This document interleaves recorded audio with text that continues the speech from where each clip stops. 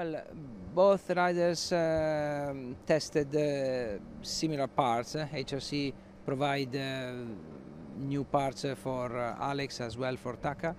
Um, basically, we first of all try to concentrate to uh, make uh, as many laps as possible with a base setting, and then uh, afterwards to try some new parts uh, concerning the chassis area and as well uh, electronics.